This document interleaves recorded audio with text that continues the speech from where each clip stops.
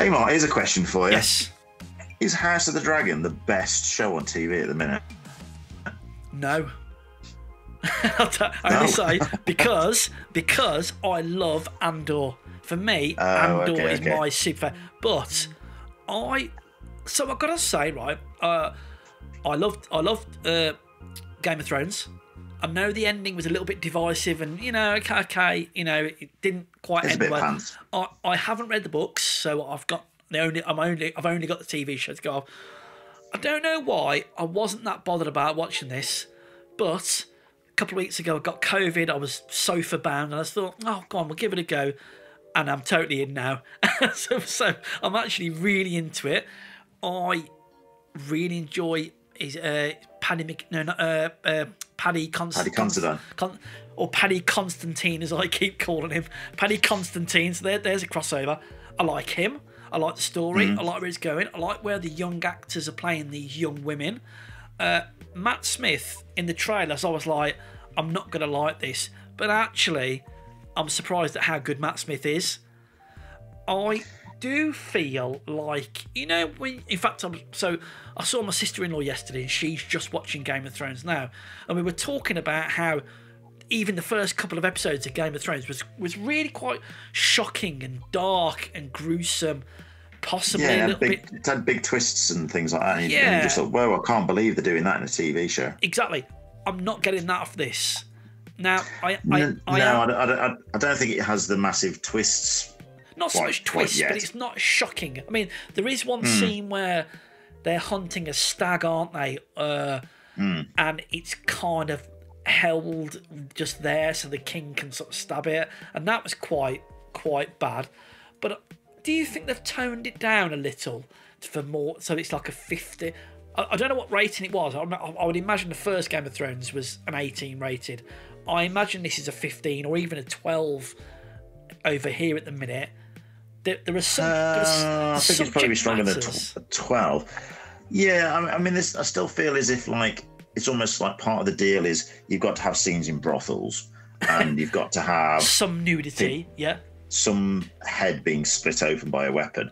So there's some of these things, but it's almost like the story it's telling dropping a few c bombs here and there. is um isn't to do with that because the scale of it is so much smaller, isn't it? Because with Game of Thrones, you've got this whole continent, people Yeah. on the other side of the con- over the other side of the sea, Yep. all these characters it's juggling to, to keep track of all the time, and you couldn't remember the characters and things like that very well. And um, I'm, it must have been really difficult to read the book. I would have thought. Oh yeah. I'm terrible at keeping track of characters without know. visual images in my mind. Whereas this, it's it's just all the power play, like the ha- like a House of Cards sort of things, like people doing a bit of who's going to be stabbing who in the back, and who's where allegiance is being formed, where Rob, allegiance sorry, has let been me broken. Rob, I'm sorry. Let me, let me the interrupt you there a second. You you're making Hmm. me laugh doing that. Do you ever get put not put off as such, but you sort of like take a deep breath when you open a book and you've got a map Hmm. in, a map in the front, and sometimes you even get a glossary of the characters. I read you think, a oh no, I read a I think it's an Alastair Reynolds book. I think it's Alastair Reynolds or one of the, one of the big sort of sci-fi writers. And you open his book up there, and there's a list of there's like a, an overview of about forty characters, and I'm like, oh man. so you think you go? Oh, yeah. Mostly we read books about um, history books about Roman empires and Caligula Oh, and stuff yeah. like this. And all the names are all so similar; they're just all blending together. And then you do research that they all look the same anyway, because you- obviously don't know what they really look like. do you know? Well, are they going to do other houses series later on, or is, or is it going to? They're well, well, gonna is, find out how um, this goes first. It's because George R. R. Martin did a sort of a in a style. I think it's written more in a sort of a style like like it's a non-fiction book, though obviously it is fiction. Yeah. and these events were told from different points of view and sometimes they're contradictory and that's quite a clever idea Oh, okay. own actually this so something like the court jesters accounts of what went on so did somebody really sleep with someone well that was what the gossip was but did it, did it really happen i yeah. don't know and and that fits in beautifully doesn't it with that stuff about the sort of english history of kings and queens and Well, exactly. yeah, someone's accused of, you know, Henry VIII accuses his wife of, you know, doing something, and it's like, well, did she do it or not? Is it just One thing I've uh, so, so that sort of thing's interesting where it's sort of it's like an exaggerated version of you know what actually has gone on in history. And I was watching these and thinking, did people really have marriages within their own family like this? Not even cousins, but brothers and sisters and aunts and uncles. And did they really have 13 year old brides? And it's shockingly how common it was in Oh. Europe. Yeah, very much so. I've read about that as well. Do you know what I have enjoyed is that we're straight into the dragon. There's, there's dragons there. There's not Yeah. hundreds of them, and I'm like, oh, okay. Matt Smith's dragon's got a really long neck, Yeah, and this one's got a big there. tail, and and yeah, it's it's the matter of the day, isn't it? What um, what I do I'm, like I'm guessing they're all going to be kicking off and fighting each other in some big dragony wars at some point in the future. got to be got to be i quite yeah i do like the in inter-house fighting as well so like so and so's sister has married so and so and then they're pissed off so they're going to marry off to someone else Yeah. like, like like the guy who runs all the ships he goes off and buddies up with matt smith what I do like is Matt Smith. I, I, I keep calling him Matt Smith. I can't remember his name. I'm afraid, but his character, he's just a git, isn't he? And he's pushing and pushing at Paddy Considine all the time, and he's just like he comes to the wedding, doesn't he? And he just he's constantly on the edge of pushing him over and just you know don't you know you know if you've ever sort of said to the kids or or, or when or rather when Sam Jackson says in in uh, Pulp Fiction say what again? You know, you know because Matt Smith is just pushing the envelope all the time to get power or allegiance Yeah. what do you think Well, of the it- uh, what do you think of the giant chair by the way With all the extra swords. Everywhere. Yeah, I mean, can you imagine sitting in that? If that was me, I'd, I'd have slipped my own wrist by now because I'd have accidentally sat sat down and cut it. Very good though. Very very good. Yeah, I think um, I, I sort of overtook my son watching this, and there was a couple of scenes where when I, was, I said, "Oh, what do you think of the you know the UF, latest episode you watched?" He's like, I don't, "I don't see the point of you know X, Y, Z, such and such, such a character had a meeting with so and so. I'm not quite sure what, what the points are, where it's going." And it was really interesting him pointing saying these things because I was saying, actually, not next episode, but the episode after that, there's a payoff to the reason why they Yeah. had that scene Yeah. and seeing that every every scene is there for reasons. it's, it's all adding to the individual characters or it's all adding to the relationship if between characters Yes. and it, it's all there for a reason it's all And building building to them all, them all having a huge fallout basically aren't they There's a guy, isn't there? With he's like he's like a younger guy, but he's got like a walking stick. Because I think he's got either a, a broken leg or a bad leg, and he speaks to the the uh, king's daughter. God, I can't remember anyone's names now. Uh, oh yeah he's a, bit- he's a bit of a stirrer isn't he Yeah, and he's saying things, and he also says it to the queen, the, the, the queen regent uh, or queen consort. He he says things without actually saying in plain words, and and even it, they've even said, "Tell me in plain language what you mean." Start, and even he says, "No, no, I, I wouldn't say that." And you think, yeah, what's not being said? It's lots and lot, like you say, it's lots of implication and lots of just twisting the narrative one way to another, if you know what I mean. And again, there's lots of there's also like marriages of convenience, isn't there?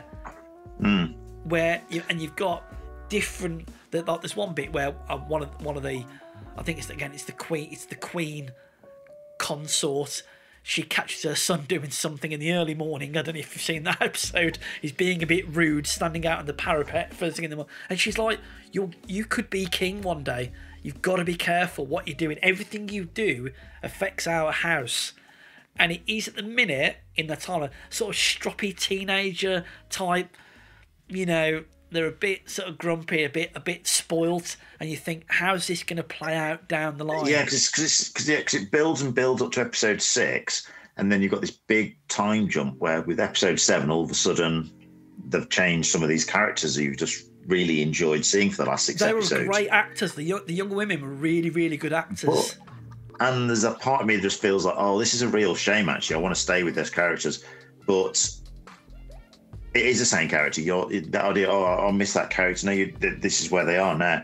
And with the, linking it to Matt Smith, it's that same feeling, isn't it? With with David Tennant turns into Matt Smith, and you Yeah. just go, oh, I want David Tennant back. Then after a little bit, you just accept. You just kind of like, Yeah.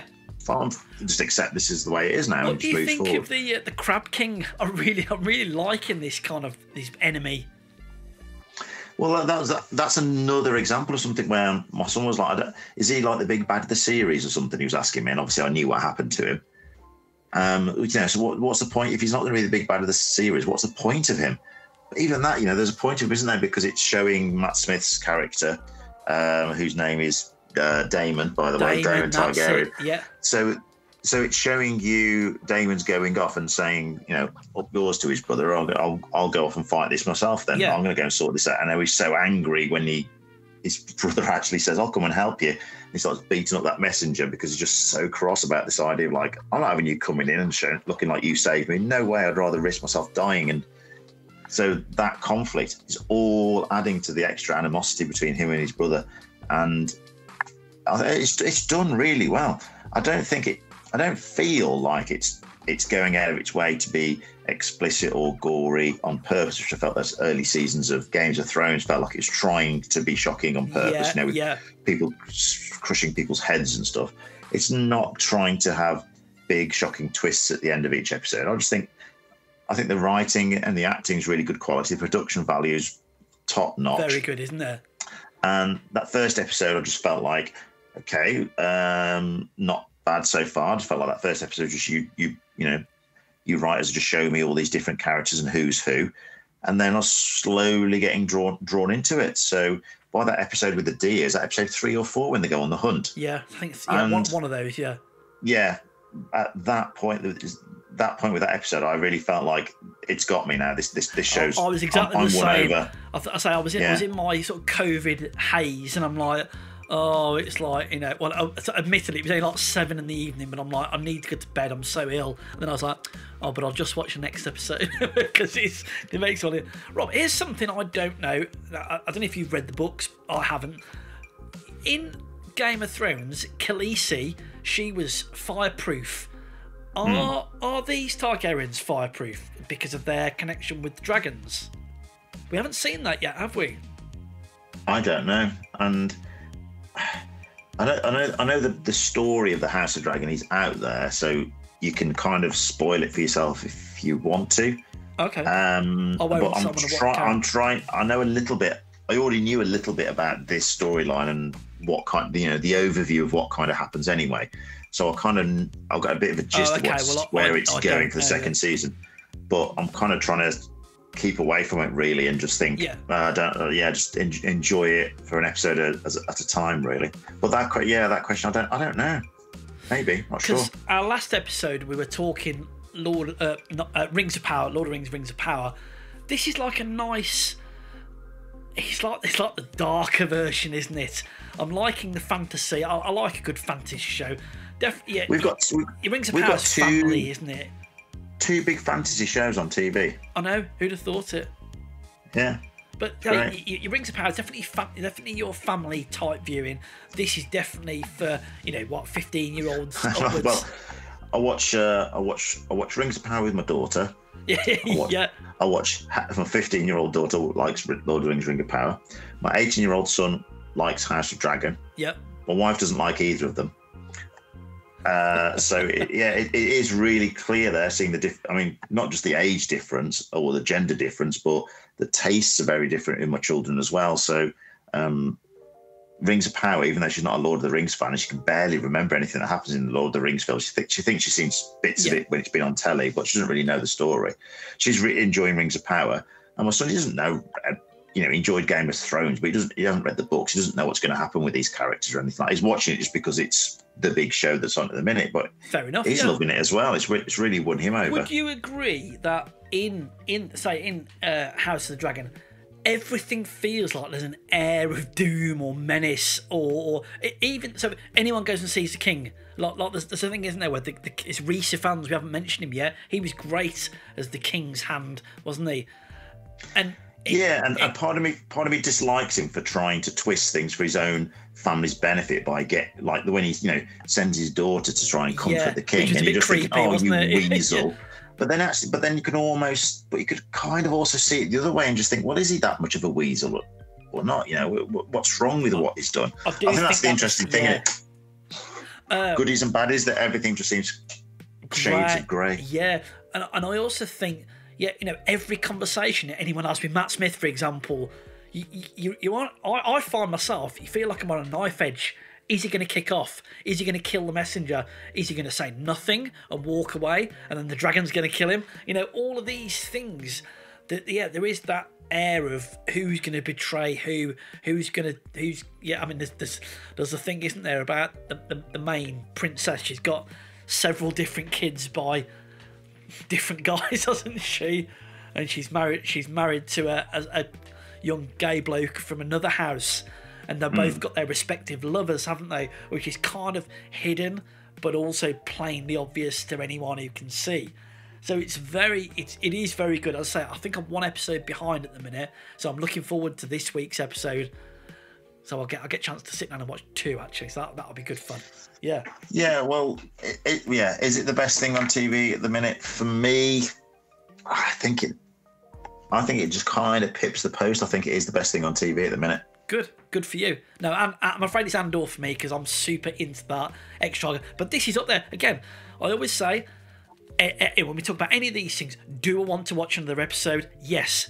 You know that, that, that that's all you can want, isn't there? You know, I'm ready to watch it. That's cool then, Rob. I'm, I look forward to. I What are we on? We're on sort of season episode six, seven. How many are there in this season? Do you know?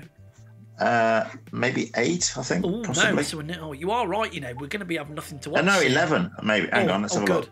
Oh, good. That's No, okay. it- got, got a few It ends in uh, episode ten. That's okay. So we got we got a few more weeks left yet. Yeah, we're, Yeah. Gonna, we're gonna have nothing to talk about soon, aren't we? Radio, radio, wrapping up there. Folks, send us uh, so your, your comments, please, if you would. We've been watching podcast at gmail.com. Over on Twitter, it's at WHBW podcast. Drop it if you're listening on YouTube. Drop some comments below. Let us know what you think of this. Do you like it more than Game of Thrones? Do you like it more than The Rings of Power? Do you like it more than Andor that I keep banging on about? Over on other socials, you can find us. We have been watching podcasts. Until next time, we'll see you soon. Bye bye. Bye.